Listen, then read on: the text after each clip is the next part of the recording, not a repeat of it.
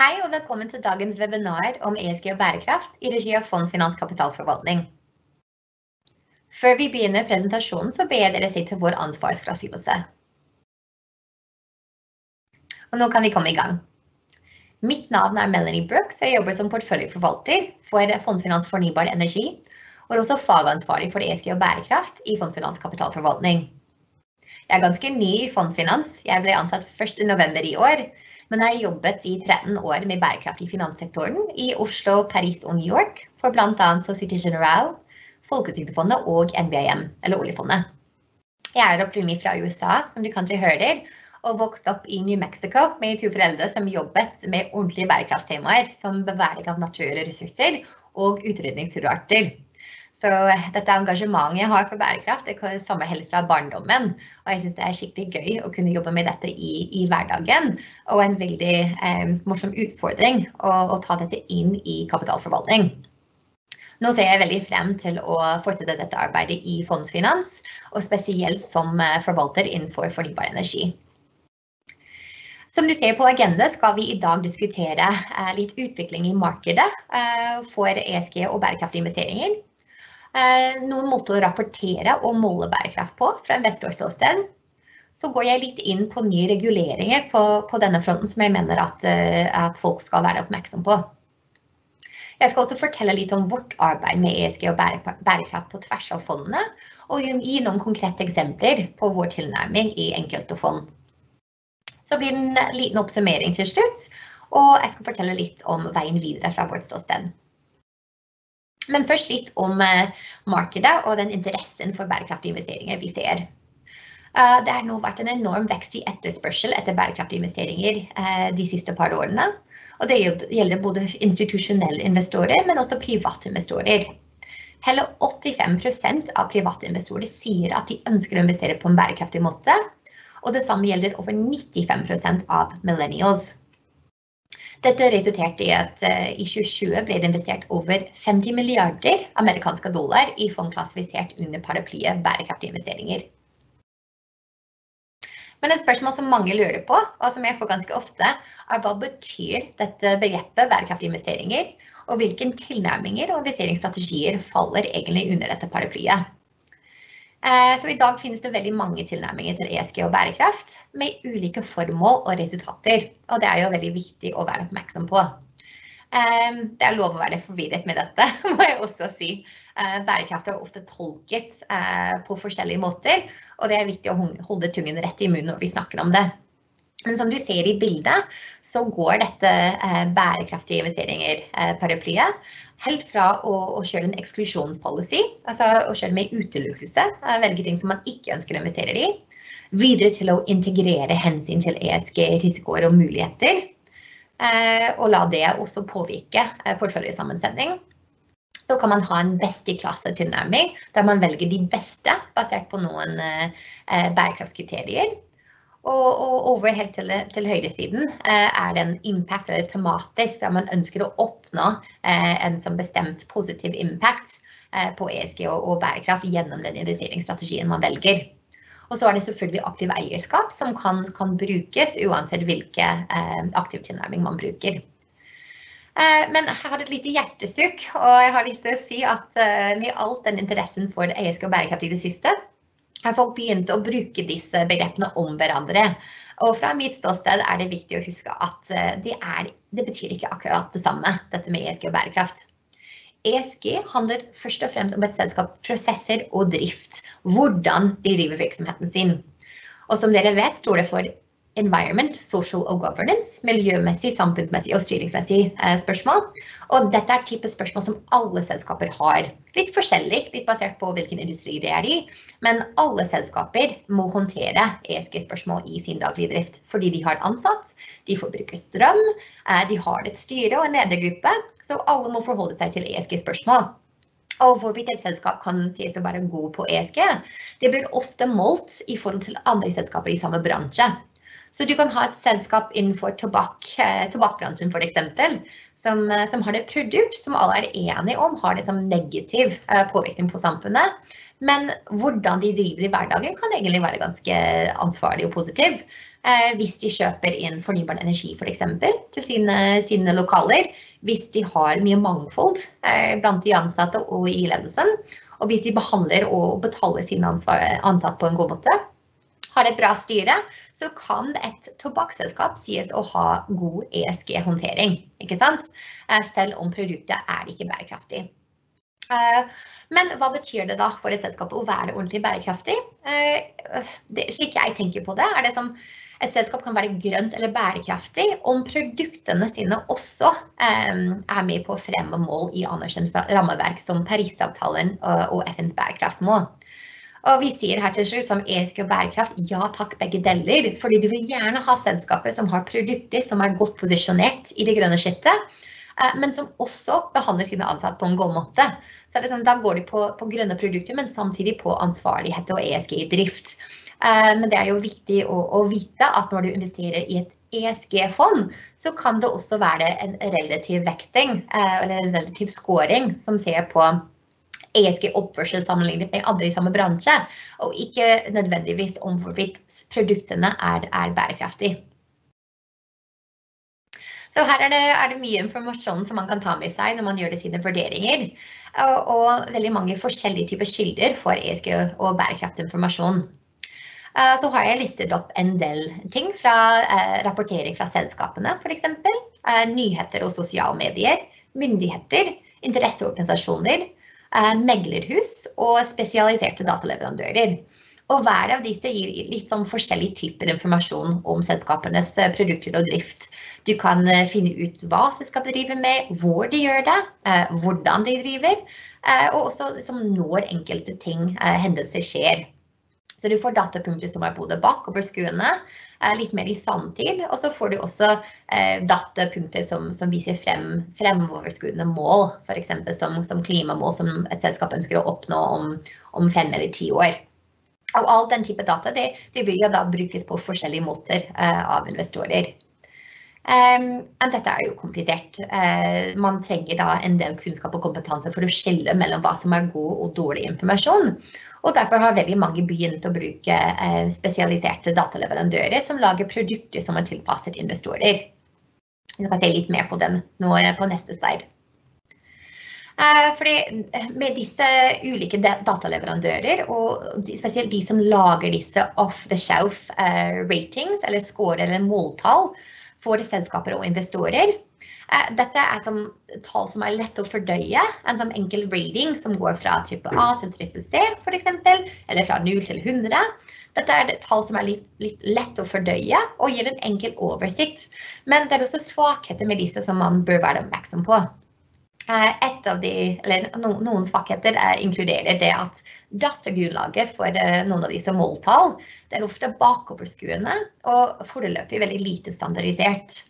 Måltall, eller sånn ESG ratings f.eks.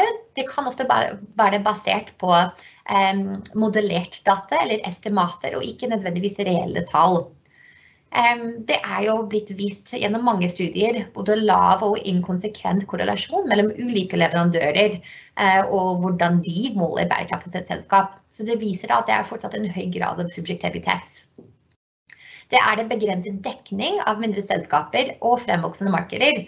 Og det resulterer i en skjevhet i måltallene som favoriserer store selskaper, og spesielt de i utviklede markeder. Så jeg skal ikke si noe, man skal ikke bruke disse. Eh, de har det absolutt eh, en, en, en, et sted i, i markedet. Men jeg, skal, jeg, tenker at man skal være litt forsiktig, og det er vi. Eh, for det å kokke ned mange forskjellige datapunkter om ulike ESG-forhold til et enkelt måltall, det er veldig utfordrende. Og vi tenker at for investorer det er jo ingen snarvei eh, å få en grundig forståelse for ESG og bærekraft, og hvordan disse faktorene skal påvirke risikobildet og eh, verdiskapingsmuligheter i investeringscase. Det kreves god analyse og arbeid, og det, det trengs ofte mer enn et, et enkelt måltall. Men så går vi veien videre. Så hittil har det vært veldig mye eh, av den typen, eh, typen, frivillige initiativer som er blitt brukt som standarder for bærekraft i både næringsliv og finans. Men nå er det kommet lovgivning, både i EU og ellers, som skal regulere dette området fremover. Og her viser jeg til EUs eh, eh, bærekraftsplattform eh, for bærekraftig finans. Unnskyld. Det er ikke kun i EU at dette skjer, men siden, siden vi opererer mest i, i, Europa, og det gjør det også veldig mange andre, så skal jeg konsentrere meg om disse europeiske reguleringene som kommer nå. Så dette er EUs handlingsplan for bærekraftig finans. Ehm, dette er en handlingsplan for, eh, som, der EU har da valgt å innføre ulike tiltak for å fremme bærekraftig økonomisk aktivitet og unngå grønnvasking. Og hovedelementer i dette inkluderer et klassifiseringssystem for bærekraftige aktiviteter. Eh, det, det kalles for EUs taksonomi, som mange har sikkert hørt om. Og så har det kommet nye rapporteringskrav for næringsliv og finans.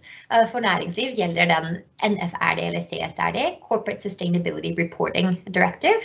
Og SFDR, eller offentliggjøringsforordning, eh, det gjelder for eh, finanssektoren. Disse tre ting, SFDR, CSRD og taksonomien, skal henge sammen. Men jeg skal konsentrere meg i dag om de to delene som gjelder finanssektoren. Når det gjelder gjennomføring i Norge, ble, ble det en lov om offentliggjøring om bærekraft i finanssektoren foreslått allerede 4.6 i år. Eh, og det ble behandlet for første gang i Stortinget eh, tidligere denne uken, 14.12.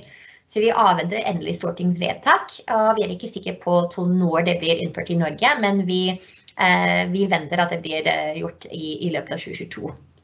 Jeg skal jo si at eh, jeg sitter i arbeidsgruppen som består av representanter fra Verdipapirenes forening, VFF, og NorSIF, som ser på den praktiske implementering av SFDA blant aktører i Norge.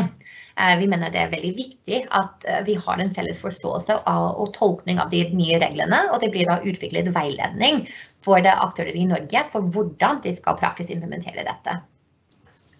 En viktig del av EUs handlingsplan er den EU-taksonomi eh, for bærekraftige aktiviteter.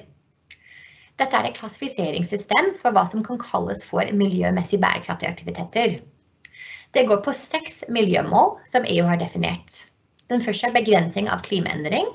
Så har vi klimatilpasning, bærekraftig bruk av eh, og beskyttelse av vann- og havressurser, omstilling til en sirkulær økonomi, forebygging og bekjempelse av forurensning, og til slutt beskyttelse og gjenopprettelse av biologisk mangfold og økosystemer. For at et selskap kan sies å være eh, i tråd med taksonomien, må den bidra vesentlig til minst ett av de seks miljømålene, og ikke være til skade for noen av de andre miljømålene. De må i tillegg oppfylle minimums, eh, et minimumsstandard på både eh, samfunnsmessige spørsmål og selskapsstyring. Eh, så dette er noe som alle selskaper, banker og investorer må begynne å rapportere på. Noen allerede fra neste år, noen litt senere. Eh, så blir det en rapport på en eksponering en har mot taksonomi-alignet aktiviteter. Per i dag er det kun utviklet kriterier på de første to miljømålene som gjelder klima. Og vi venter at eh, kriteriet for de resterende miljømål kommer eh, sannsynligvis i 2022. Og så blir det utviklet i tillegg et eh, sosial taksonomi, så vi ser hvilke aktiviteter beregnes som sosialt bærekraftig og ansvarlig etter hvert. En annen del av EUs handlingsplan er offentliggjøringsforordning, eller SFDR på engelsk. Eh, offentliggjøringsforordning den gjelder for regulerte kapitalforvaltere og rådgivere. Og i motsetning til taksonomien er ikke SFDR et klassifiseringssystem, selv om mange har begynt å bruke det slik. Den stiller kun krav til rapportering. Og forvaltere stilles det krav til rapportering om bærekraft på produkt- og selskapsnivå. Og så betyr det at relevant informasjon om ESG og bærekraft må publiseres i prospekter på hjemmesiden til forvaltere og i periodiske rapporter, som i årsrapporter. Uh, og så kommer det an på disse, man kommer til disse uh, artikkel 6, 8 og 9, uh, eh, som som sagt ofte blir brukt som, som klassifiseringer, um, selv om det stiller bare ulike krav til hvilken type informasjon som må rapporteres. Så artikkel 6 dette gjelder rapporteringskrav for alle finansielle produkter, uansett om, om de er bærekraftige eller ikke. Artikkel 8 kommer med rapporteringskrav til finansielle produkter som skal fremme bærekraft. Og artikkel 9 gjelder finansielle produkter som har bærekraftige investeringer som formål. Så for å oppsummere, taksonomien det er et klassifiseringssystem. Eh, det er et nytt standard på hva som kan kalles for eh, miljømessig bærekraftig. Eh, SFDR er ikke et klassifiseringssystem, men krever økt rapportering og åpenhet fra forvaltere om hvordan de jobber med ESG og bærekraftspørsmål. Dette skal hjelpe å unngå grønnvasking. Nå kommer vi inn på hvordan fondsfinans jobber på tvers av våre fond. Vi er en finansiell investor med en langsiktig og aktiv forvaltning. Og vår motivasjon er primært finansiell. Vi ønsker å levere en god forvaltning til våre andelseiere. Og vi mener at en god håndtering av ESG og posisjonering forhold til bærekraft har mye å si for risikobildet og investeringsmuligheter eh, når vi ser på et case. Eh, vi integrerer derfor disse hensyn på tvers av fondene, eh, og våre forvaltere gjør det både kvantitativ og kvalitative vurderinger som de integrerer da i, uh, i sine investeringscaser. Vi ser at ESG Performance har begynt å kunne være kursdrivende og er stadig mer priset inn i markedet. Og vi justerer bl.a. våre avkastningskrav basert på vurderinger av ESG, risiko og muligheter. Men her ser dere da på tvers av fondene. Vi har liksom fire hovedverktøy eller tiltak som vi kan, kan bruke. Den ene er utelukkelse, og vi bruker utelukkelse på tvers av alle våre fond. Integrasjon av hensyn til ESG og bærekraft det blir også brukt på tvers av alle fondene våre. Aktiv eierskap er en veldig, veldig viktig eh, verktøy vi har, eh, og dette bruker vi på tvers av alle aksjefond. Til slutt har vi tematiske investeringer, og dette gjelder først og fremst våre global helsefond og vårt global fornybarfond, der vi forsøker å, å, få til en eksponering mot selskaper innenfor visse bransjer og med en, en viss type teknologieksponering. Her ser du oversikt over våre fond i henhold til offentliggjøringsforordning, eller SFDR, som jeg, jeg, snakket om for et par minutter siden. Eh, dette er viktig igjen å huske at det er ikke et klassifiseringssystem. Og også at hvis et, et eh, fond kun rapporterer til artikkel 6, det betyr ikke at det ikke tar hensyn til bærekraftsrisiko. Bærekraftsrisiko blir tatt i betraktning i investeringsbeslutninger i alle våre fond. Men fond som rapporterer i henhold til artikkel 6, som du ser her, hvor high yield, kreditt og aktiv 60-40-fond, eh, disse integrerer hensyn til ESG og bærekraftsrisiko uten at fondene sies å, være, å kunne fremme miljømessige eller sosiale egenskaper. Eh, hvor det fond som rapporterer i henhold til artikkel 8, både integrerer ESG og bærekraftsrisiko og fremmer miljømessige og sosiale egenskaper gjennom seleksjon og aktiv eierskap.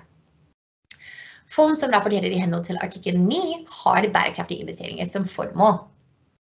Si har vi, vi, har tatt et bevisst valg og ikke prøve å tvinge alle våre fond i en sånn høyere kategori. Vi vil være sikre på at vi kan levere på de pliktene som f.eks. artikkel 8 medfører, før vi tar flere av våre rentefond opp i den kategorien. Eh, mange mindre og unoterte selskaper som ikke rapporterer på, på ESG-kopier, eh, ofte kommer inn i, i den type fond. Um, og vi, vi, vil være helt sikre på at vi klarer å, å rapportere også på fondsnivå før vi begynner på, på artikkel 8 uh, eh, på de fondene. Nå skal jeg gi noen konkrete eksempler for hvordan vi jobber.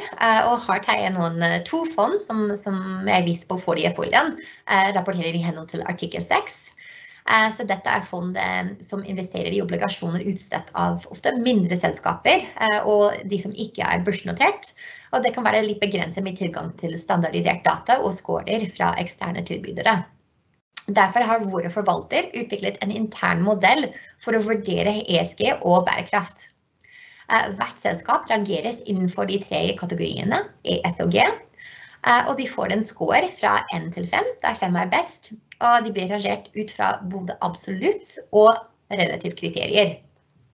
Så blir avkastningskravet til de enkelte utstedere justert basert på vår vurdering av ESG. Og jeg vil bare si at dette er forvalternes ansvar, og det er jo de som har utviklet den modellen. Jeg stiller som diskusjonspartner, eh, men skal ikke gjøre den jobben. Eh, det får de all æren for. Eh, og jeg tror det er det veldig viktig at de gjør det, at det er forvalteren som, som sitter med veldig mye kunnskap om markedet og selskaper, Eh, og at de klarer å, å, utvikle en bra modell som også um, er, det, er, det, nyttig for dem å bruke. Og de er bedre posisjonert å, å ta de vurderingene.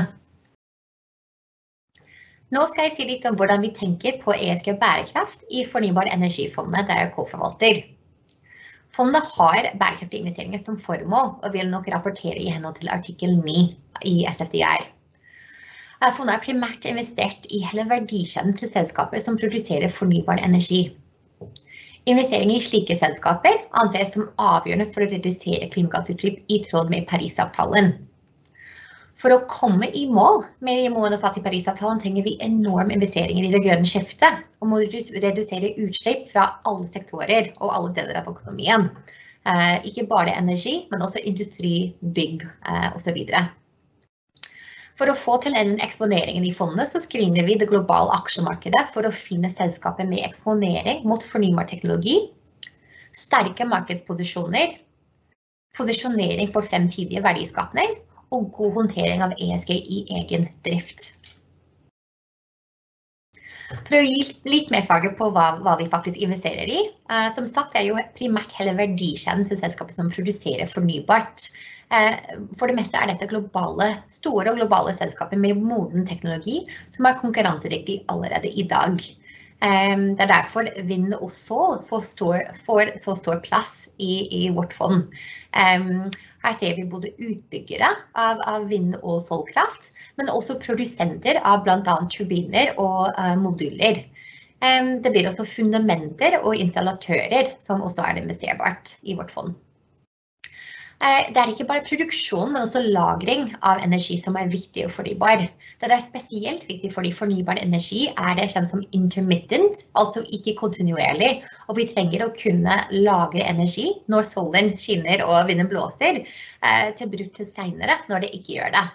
Så da er det lagring veldig viktig, og batterier er allerede eh, konkurransedyktige i mange markeder i dag. Så vi investerer i selskap som produserer batterier. Vi ser også på hydrogen som, eh, som, en løsning, men som dessverre ikke er lønnsomt i dag, men som noe som vi ser på som en teknologi for fremtiden. Og vi vil vurdere å investere i fremover. Det er så vannkraft og type software som, som bidrar til energilagring og effektivisering av energinettverket og griden. Vi har også plass til litt annet i porteføljen enn direkte i fornybar energi. Men dette må være andre typer eh, produkter og teknologier som bidrar til å redusere klimagassutslipp. Her er det f.eks. biogass eller biodiesel, eh, resirkulering av f.eks. plast, energieffektiviseringstiltak, som vi vet er veldig viktig å komme, komme i mål med klimamålene. Og så andre litt mer uh, up and coming, uh, fremvoksende teknologier som karbonfangst. Uh, som kanskje ikke er noe vi investerer i i dag, men som kan være kandidater for portføljen på sikt. Til slutt vil jeg bare oppsummere og snakke litt om veien videre for fondsfinanskapitalforvaltning. Vi er jo helt overbevist om at finansnæringen har en viktig rolle å spille i overgangen til en mer bærekraftig økonomi og samfunn, og vi skal gjøre det vårt for å bidra. Vi skal fortsette å jobbe med ESG og bærekraft på en sofistikert og konstruktiv måte som er verdiskapende for forvaltningen vår. Og i 2022 har vi valgt å sette litt ekstra fokus på et utvalg av temaer eh, som vi mener vil styrke vår forvaltning ytterligere og komme våre andelseiere til gode. Eh, vi skal fortsette å øke vår interne kompetanse om ESG og bærekraft. Dette fordi vi mener det er veldig viktig at det er ikke bare én fagperson som kan ting om bærekraft, men at det er hele organisasjonen og hele forvalterteamet. Så dette skal vi jobbe videre med. Vi skal også bli enda mer systematisk i vår vurdering eh, av tema knyttet til ESG, eh, og hvordan dette blir integrert i våre selskapsanalyser og investeringsbeslutninger. Vi skal også eh, øke vår bruk av aktiv eierskap for å påvirke selskapene i en mer bærekraftig retning. Til slutt skal vi sette både kortsiktige og langsiktige klimamål, slik at vår forvaltning vil være i tråd med målene i Parisavtalen. Det kommer til å være et veldig spennende år i 2022, eh, men for nå skal jeg si takk for meg, og jeg ønsker alle en fin dag videre.